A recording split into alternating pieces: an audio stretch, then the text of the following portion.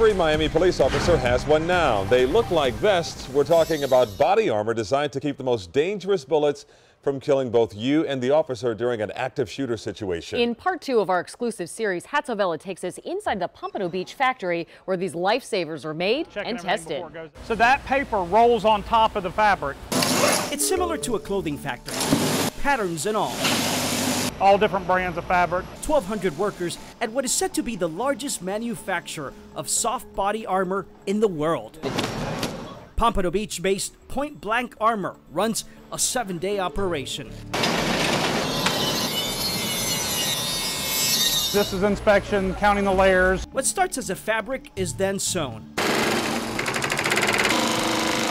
But equally as important is the testing of the vest. So this is our research and development uh, lab here in Pompano Beach. It's a lab few get to see, People's lives depend on it, and so it, we take that very serious here. which is why it's all done methodically. We want to have the same rate of speed. We want to be able to increase the rate of speed and test the armor to its limits. So this is the fixture.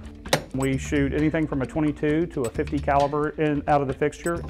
These chronographs here capture the speed of the bullet as they pass through. This is one of the popular vests that keeps the bullet from penetrating the officer's body. Take a look here because this clay is used by researchers to show what kind of impact the bullet has on that officer's body. We're going to take a look with testing right now. We're reproducing um, the velocity of the rounds. So they're going to fire from here.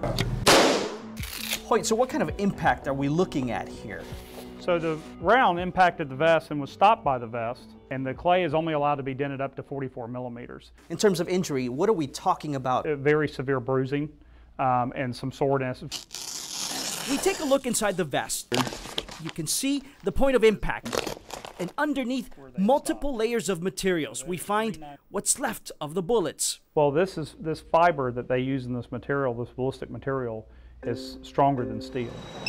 Back on the floor of the factory, Checking everything before it goes out. The work continues to get it all delivered. The orders are coming from around the country and the world, and these folks continue to test different fabrics with different stitch patterns. The goal is to get the lightest, thinnest, and most comfortable vest that stops the rounds and keeps the officer alive.